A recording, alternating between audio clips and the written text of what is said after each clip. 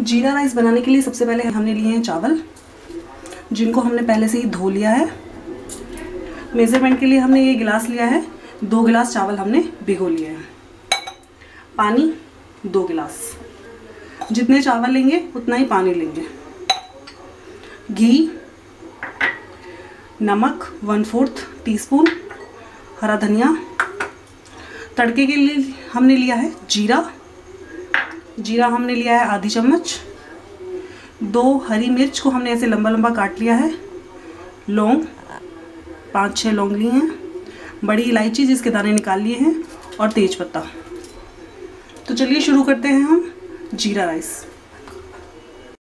जीरा राइस बनाने के लिए सबसे पहले हम अब गैस ऑन करते हैं। गैस पे रखते हैं कुकर।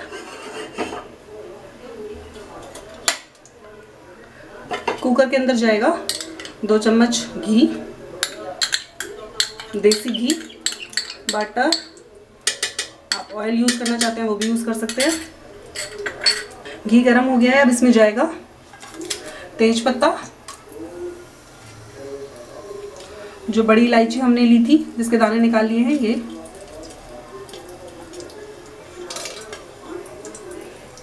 लौंग लवण हरी मिर्च और हम इसे भून लेंगे।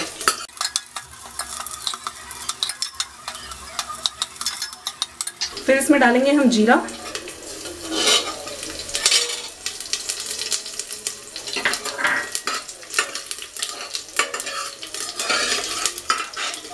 आप इसमें प्याज भी डाल सकते हैं। प्याज ऑप्शनल है।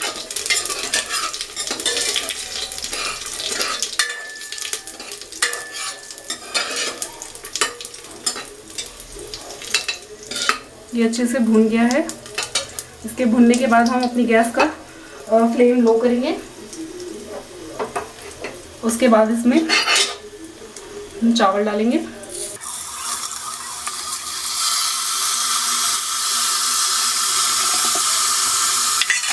और इसे मिला देंगे।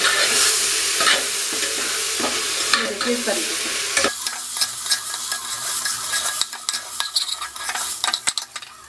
अब हम इसमें नमक डालेंगे, आधी छोटी चम्मच।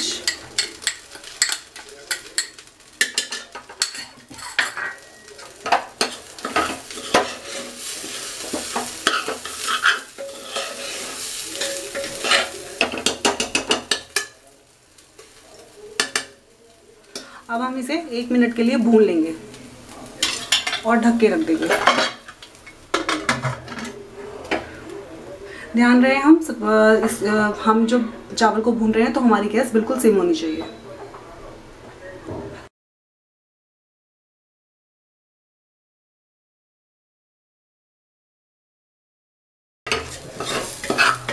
हमारे चावल भुन गए हैं अच्छे से। अब हम इसके अंदर, हमने जो ये गिलास लिया है, इसे नाप के दो गिलास पानी इसमें डालेंगे। जो हमने पहले से ही नाप के रखा हुआ है। ये पानी हम इसमें ऐड करेंगे।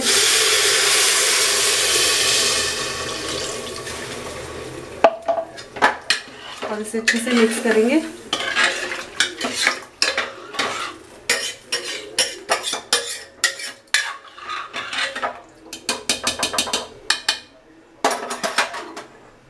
गैस का फ्लेम मीडियम कर देंगे और ढक्कन लगा देंगे।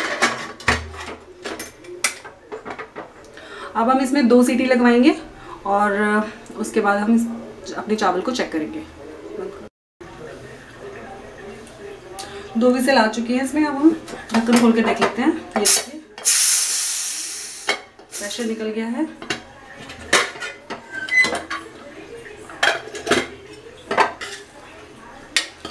हमारे चावल बनकर बिल्कुल तैयार हैं। अब हम इसमें हरा धनिया डालेंगे।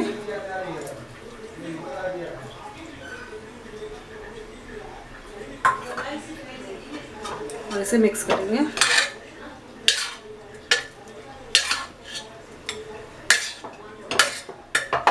हमारे चावल बनकर तैयार है तो दीदी सर्व कर लेते हैं।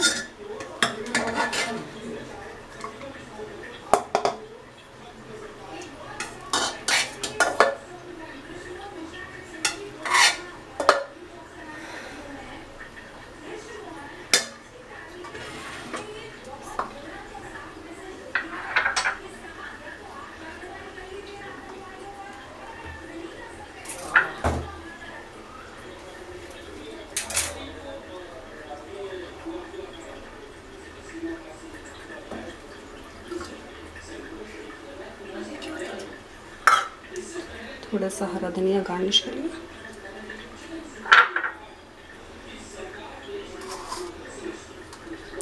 ये देखिए, हमारा जीरा राइस बनकर बिल्कुल तैयार है। आप इसे कड़ी, राजमा, छोले या किसी भी दाल के साथ या ऐसे भी खा सकते हैं।